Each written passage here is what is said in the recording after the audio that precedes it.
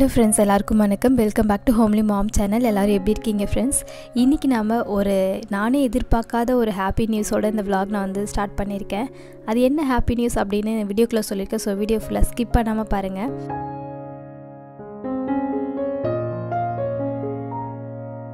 இப்போ காலையில் எழுந்ததும் கோலெல்லாம் போட்டு முடிச்சுட்டு எனக்கும் அஷதாப்பாவுக்கும் டீ போட்டுட்டு இருக்கேன்.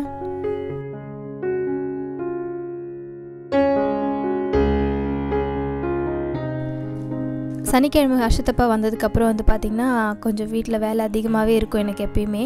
இந்த vlog ஆக்சுவலாக வந்து பார்த்திங்கன்னா இந்த சனிக்கிழமை தானே எடுத்தேன். ஸோ அப்போ வந்து பார்த்திங்கன்னா ஒரு ட்ரெஸ் எல்லாம் வந்து துவைக்கிற வேலை இருக்குது அப்புறம் அவருக்காக காலையிலே நான் வந்து சாப்பாடு செஞ்சுட்டேன். ஏன்னா அவர் காலையிலே வந்து சாப்பிட்டுட்டாருன்னா அதோட நல்லா தூங்கிடுவாங்க. நைட்டு ஒரு ஈவினிங் போல் அந்த மாதிரி கூட எழுந்திருப்பாங்க. அதனால் வந்த உடனே முடிஞ்ச அளவுக்கு நான் வந்து சாப்பாடு செய்ய ஸ்டார்ட் பண்ணிவிடுவேன் அப்படி இல்லைன்னா மதிய சாப்பாட்டுக்கு போல் அவங்க எழுந்திருப்பாங்க. ஸோ அந்த மாதிரி தான் அவங்க அவங்களுக்கு ஏற்ற மாதிரி நான் சாப்பாடு செஞ்சுருவேன். அன்றைக்கி காலையில் வந்து பார்த்திங்கன்னா காலையிலே சாப்பாடு செஞ்சு முடிச்சிட்டேன். ஸோ லஞ்சு லஞ்ச் வந்து பார்த்திங்கன்னா காலையிலே முடிச்சிட்டேன். அதனால் எனக்கு லஞ்ச் செய்கிற வேலை மிச்சம். டைமும் கொஞ்சம் நிறைய இருந்துச்சு. இந்த vlogல எடுத்து முடிச்சுட்டு நான் வந்து இந்த எடிட்டிங் ஒர்க் தான் பண்ணிகிட்டு இருந்தேன்.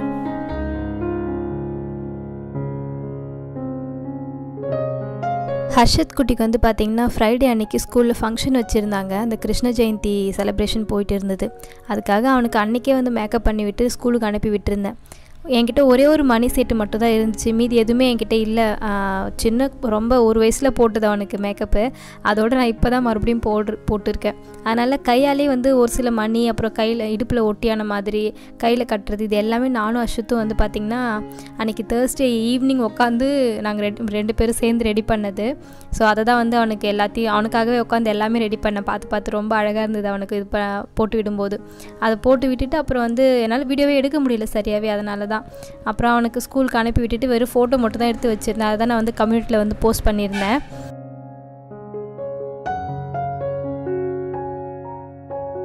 இப்போ நான் கேஸில் வந்து பார்த்திங்கன்னா சாதம் ஒலை போட்டிருந்தேன். சைட் பை சைட் நான் வந்து துணியும் வந்து மிஷினில் வந்து வாஷ் பண்ணுறதுக்காக போட்டுட்டேன்.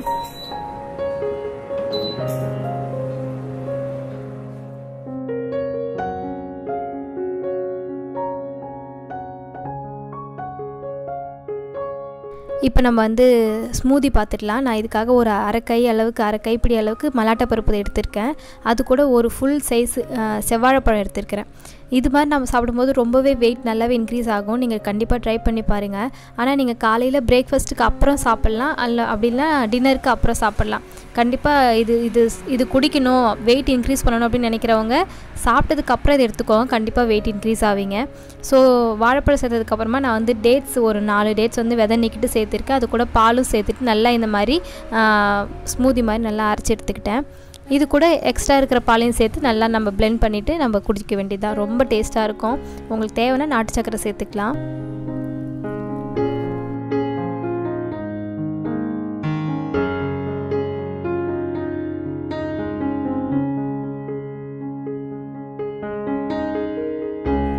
இப்போ அடுத்தது நான் வந்து பார்த்திங்கன்னா கூட்டு தான் பண்ண போகிறேன் அதுக்காக நான் வந்து கடலைப்பருப்பு கொஞ்சம் அப்புறம் ஒரு கையளவுக்கு பாசிப்பருப்பு நான் நல்லா ஒரு கழுவி பத்து நிமிஷம் ஊற வச்சு எடுத்துருந்தேன். அது கூட கோஸு மஞ்சத்தூள் பூண்டு உப்பு இதெல்லாம் சேர்த்து தண்ணி ஊற்றி கொஞ்சமாக எண்ணெயும் சேர்த்துக்கோங்க. நம்ம விசில் போட்டு வச்சிட வேண்டியது தான் அதுக்கப்புறம் ஒரு மீடியம் ஃப்ளேமில் ஒரு நாலு விசில் வந்ததுக்கப்புறமா கேஸ் ஆஃப் பண்ணிவிட்டு அதுக்கப்புறம் பார்க்கலாம்.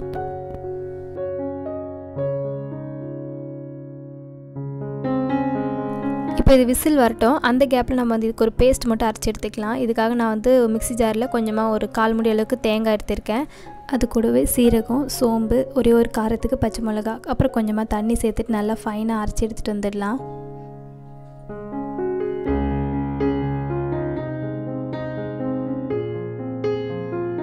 இப்போ கோஸ் வந்து எந்த அளவுக்கு வெந்திருக்குன்னு பார்க்கலாம். நல்லா வந்து மேஷ் ஆகிற மாதிரி தான் வந்து வெந்திருக்கு நமக்கு. இப்போ நம்ம இதுக்கு ஒரு தாளிப்பு கொடுக்க போகிறோம் அதுக்காக ஒரு கடாயில் எண்ணெய் சேர்த்துருக்கேன். கடலை எண்ணெய். அது நல்லா வந்து ஹீட் ஆனதுக்கப்புறமா கடுகு உளுத்தம்பருப்பு கருவேப்பிலை கொஞ்சமாக சேர்த்துட்டு பொடியே நறுக்குன்னு வெங்காயம் பெரிய வெங்காயம் வந்து சேர்த்துக்கிறேன்.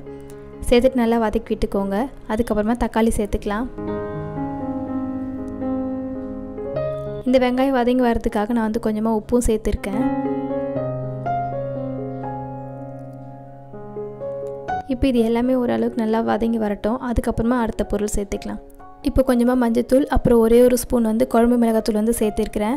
சேர்த்துட்டு நல்லா வதக்கி விட்டுக்கோங்க எண்ணெயிலே. அப்போ தான் வந்து அதோட டேஸ்ட்டு ஃப்ளேவர் எல்லாமே நல்லாயிருக்கும். நீங்கள் சாம்பார் தூள் இருந்தால் அது கூட சேர்த்துக்கோங்க. இப்போ நம்ம அரைச்சி வச்சுருக்க அந்த தேங்காய் பேஸ்ட் இருக்குள்ளே அது கொஞ்சம் சேர்த்துக்கலாம். சேர்த்துட்டு மிக்ஸி ஜாரையும் கொஞ்சமாக தண்ணி ஊற்றி கழுவி அதையும் சேர்த்துக்கலாம். இந்த மாதிரி நல்லா வந்து கொதிச்சு வரும். அதுக்கப்புறமா நம்ம வேக வச்ச இந்த கூட்டு இருக்கு இல்லையா அதை வந்து சேர்த்துக்கலாம். அந்த கோஸு கூட்டு சேர்த்துக்கலாம். சேர்த்துட்டு நல்லா மிக்ஸ் பண்ணி விட்டுடுங்க. அதுக்கப்புறமா உங்களுக்கு எவ்வளோ தண்ணி தேவையோ அது நீங்கள் அட்ஜஸ்ட் பண்ணி சேர்த்துக்கோங்க.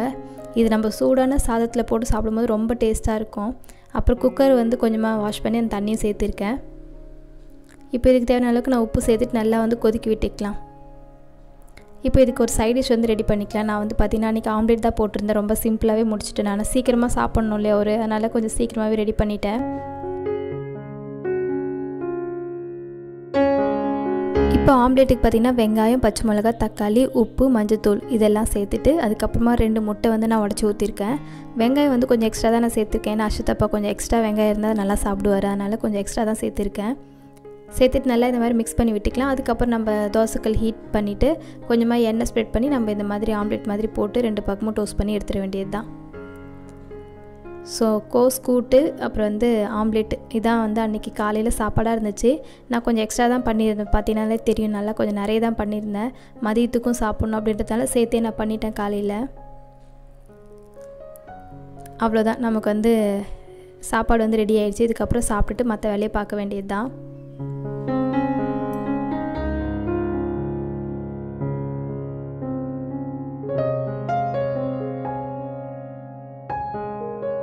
இப்போ சாப்பாடெலாம் செஞ்சு முடிச்ச கையோடு வந்து பார்த்திங்கன்னா பாத்திரத்தையும் நான் வந்து வாஷ் பண்ணி வச்சுட்டேன் எனக்கு வேலை இன்னும் கொஞ்சம் சீக்கிரமாக முடிஞ்ச மாதிரி இருக்கும். டைமும் நிறைய எக்ஸ்ட்ரா இருக்கிற மாதிரி இருக்கும்.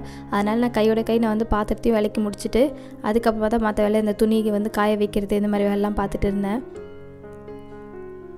சரி ஏதோ குட் நியூஸ் சொல்கிறேன்னு சொன்னியம்மா. அதை பற்றி நீ வாயை திறக்க மாட்டியே. அதே எப்போ சொல்ல போகிறேன்னு நீங்கள் நினைக்கிறது வந்து கேட்குது ஆக்சுவலாக அது வந்து பார்த்திங்கன்னா நம்மளை வந்து ஒரு டிவி ஷோவில் வந்து கூப்பிட்டுருந்தாங்க.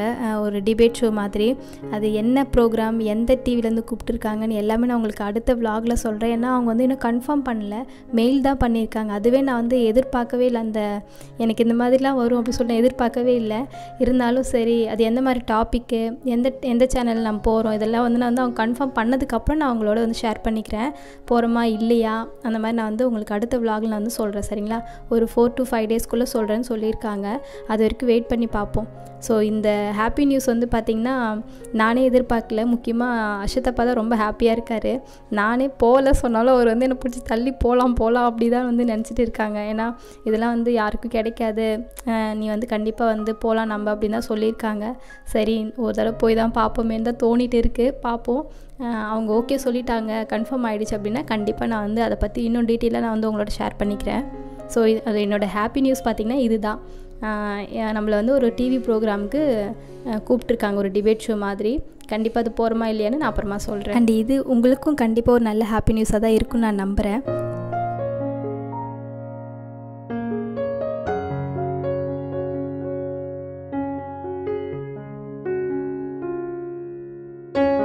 ஸோ என்னோடய குட் நியூஸ் வந்து இதுதான். ஆனால் நிறைய பேருக்கு ரொம்ப டீட்டெயிலாக இல்லைன்னு நீங்கள் நினைப்பீங்க. இருந்தாலும் நம்ம எடுத்த உடனே எல்லாத்துக்கும் கொஞ்சம் ஆர்வ கொள்ளார எல்லாத்தையும் சொல்லிடக்கூடாது இல்லையா? அதனால் கொஞ்சம் முன்னாடி உங்ககிட்ட சொல்லணும்னு தான் எனக்கு தோணுச்சு. ஏன்னா எதாக இருந்தாலும் உங்ககிட்ட ஷேர் பண்ணணும் இல்லையா?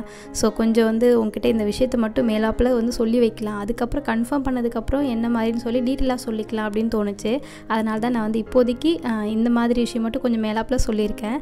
அவங்க கன்ஃபார்ம் பண்ணது கண்டிப்பாக நான் டீட்டெயிலாக சொல்கிறேன் ஸோ இப்போ எல்லா வேலையும் முடிஞ்சிச்சு இல்லை குக்கிங் முடிஞ்சிச்சு வெசல் வாஷிங் முடிஞ்சிச்சு இதுக்கப்புறம் வந்து கேஸ் மட்டும் க்ளீன் பண்ணிட்டா சாப்பிட்டுட்டு அதுக்கப்புறம் ரெஸ்ட் எடுக்க வேண்டியதான் துணி வந்து மிஷினில் போட்டிருந்தேன்ல அது வந்து நம்ம வந்து காய வைக்கணும். ஸோ இப்படி தான் ஒரு ஒரு வேலையாக போயிட்டு இருந்துச்சு.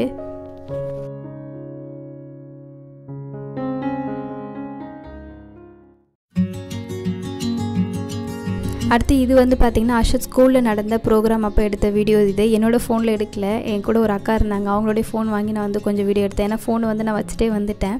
ஸோ இந்த குரூப்பில் தான் அஷத் குட்டி இருக்கார். அவர் வந்து தேர்ட் பெஞ்சில் உட்காந்துருப்பான் தம்பி இதை என்னால் சரியாக வீடியோவே எடுக்க முடியல. ஏன்னா கூட யாரும் ஹெல்ப்புக்கும் இல்லை. நானே எல்லா வேலையும் செஞ்சுட்டு அவனுக்கு மேக்கப்பு பண்ணி விட்டு அவனை ஸ்கூலுக்கு அனுப்பிவிடணும் அப்படின்றதுனால என் வீடியோ எடுக்க யாருமே இல்லை டைமும் இல்லை. ஸோ அதனால் ஃபோட்டோ மட்டும் ஃபோனில் எடுத்து வச்சுருந்தேன். அதை தான் உங்களோட இப்போ ஷேர் பண்ணிகிட்டு இருக்கேன்.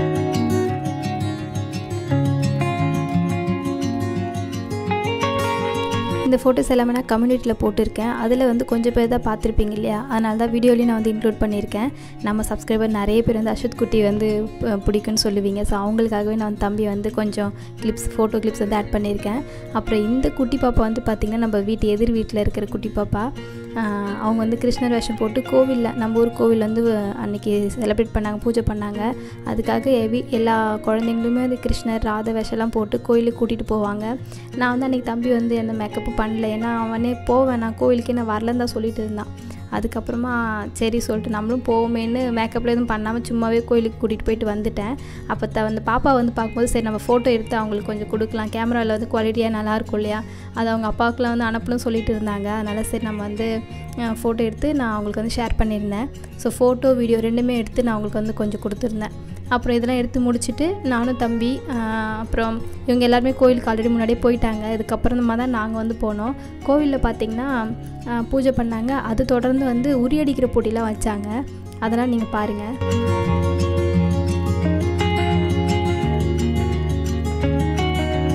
பார்த்தீங்கன்னா கோவிலில் வந்து அம்மாலாம் வந்திருக்காங்க. அம்மா கூட தான் தம்பி உட்காந்துட்டு இருந்தான்.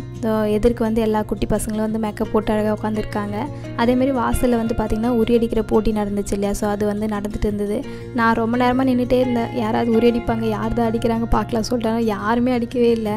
ரொம்ப நேரம் டைம் தான் ஆச்சு. சரி இதுக்கு மேலே இருந்தால் ரொம்ப எனக்கு பசி வேறு எடுத்துக்கிச்சேன்னா சொல்லிட்டு நான் வீட்டுக்கு போயிட்டேன். தம்பி வந்து அம்மா கூட கிளம்பி போயிட்டான். ஸோ அன்னைக்கு வந்து இப்படி தான் போச்சு. ஸோ உங்களுக்கு இந்த விளாக் கண்டிப்பாக பிடிச்சிருக்குன்னு நான் நம்புகிறேன் அப்படி பிடிச்சிருந்தா ஒரு சின்ன லைக் கொடுத்துருங்க. இதே மாதிரி இன்ட்ரெஸ்டிங்காக இன்னொரு விளாகில் வந்து பார்க்கலாம். அது வரைக்கும் நம்மளோட சேனலை புதுசாக பார்க்குறீங்க அப்படின்னா மறந்துடாமல் சப்ஸ்கிரைப் பண்ணி வச்சுக்கோங்க. அடுத்த விளாகில் பார்க்கலாம். பாய்